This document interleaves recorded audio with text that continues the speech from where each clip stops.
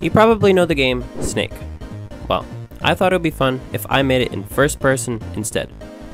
Let's see what happens. I always find it hard to work on a project that doesn't look good, so the first thing I did was focus on graphics. I threw in a skybox, some ground, some post-processing, bean, and it looked great. Now there was just one problem. There was nothing for bean to do.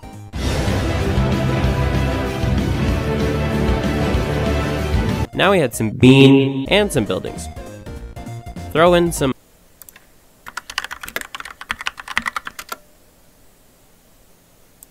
bokeh. And you have yourself a game. Except for one problem. There's no snake, and this isn't a game. I decided on a better player movement, which was where the player was stuck on a 2D plane and constantly moved in the direction of the camera.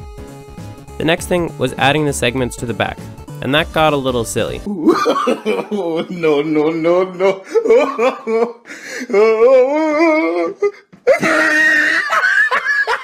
they ask you how you are, you just have to say that you're fine when you're not really fine, but you just can't. I tried to make the segments using the hinge joints in Unity's physics system, but it clearly didn't like me, so I made everything by hand using code. A few bugs later, I had everything working smoothly.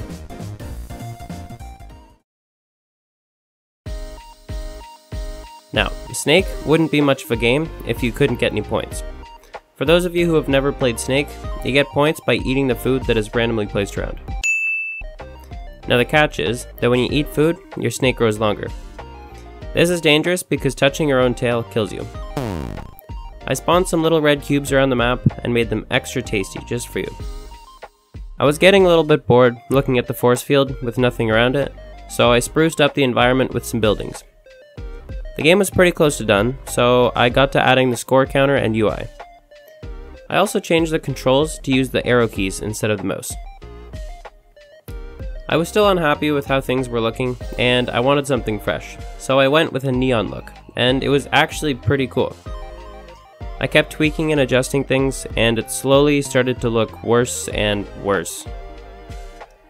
I put things back to normal and added in some trees along the buildings which made it a little bit more interesting. I was happy enough with the visuals, so I added in some sound effects and some music from the Streambeats library. Streambeats is a library of copyright and royalty free music that you can use for pretty much anything, and they have some really good music in a bunch of genres, so go check it out. I'll leave a link in the description. Everything was looking good, but I still had one more problem. It was boring. I played around with some values and decided on the player growing much faster, but starting out smaller, and I finally had a fairly fun game. I added a main menu and tweaked some more things, and the game was finally done. Once again, I'll leave a link to the itch.io page in the description. Go play it and let me know what your high score is in the comments. My high score is 21, let me know if you can beat it. Thanks for watching, please like and subscribe, and have a great day.